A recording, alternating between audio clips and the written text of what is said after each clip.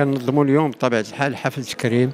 ديال الرياضيين بالنسبة للمقاطعة الجماعية الذين ينتسبون للمقاطعة الجماعية للسيد البرنوسي وغنحاولوا ما أمكن اننا نعطيو دعم على شكل معدات رياضية بالنسبة للفرق اللي كتلعب بطبيعة الحال الرياضة التنافسية يعني على مستوى العصاب وعلى مستوى الجامعة.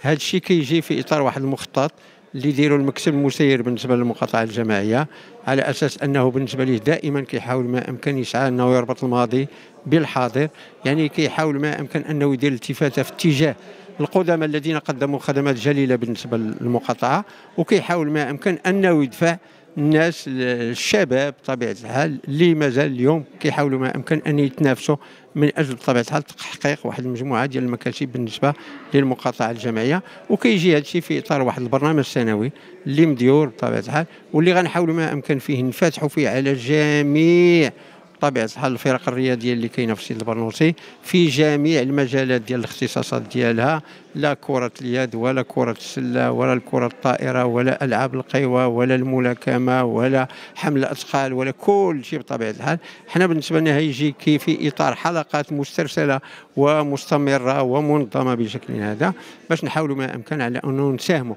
في الإقلاع الرياضي بالمقاطعة الجماعية ديال السيد البرنوصي. النفس اللي خدامين فيه كنستمدوه من الإنجاز التاريخي اللي حقه المنتخب الوطني المغربي في مونديال قطر 2022 هذا الإنجاز التاريخي خلق حافز بطبيعة الحال لينا كاملين باش نحاولوا ما أمكن أن نشتغلوا ليل نهار باش نحافظوا على التوهج ديال الرياضة الوطنية ونحاولوا ما أمكن أن نصنعوا أبطال أبطال مستقبليين بطبيعة الحال ونحاولوا ما أمكن على أنه نصنعوا فرق اللي قادرة على أساس أنه ترفع التحدي وترفع الراية ديال المغرب عاليا لأن الإنجاز التاريخي حقق شيء كبير بالنسبة لنا في المغرب. حاول ما أمكن على أساس أنه يساهم بشكل كبير في الدبلوماسية الرياضية اللي عرفت بالمغرب وعرفت بطبيعة الحال بالمستوى ديال المغاربة ومستوى ديال المغرب وحضروا بطبيعة الحال في حتى في المونديال حضروا واحد المجموعه ديال الوفود اللي جاوا عينوا نيت المستوى ديال البنية التحتية والمستوى ديال الاشتغال بطبيعة الحال بالنسبة للناس اللي مسؤولين على الرياضة.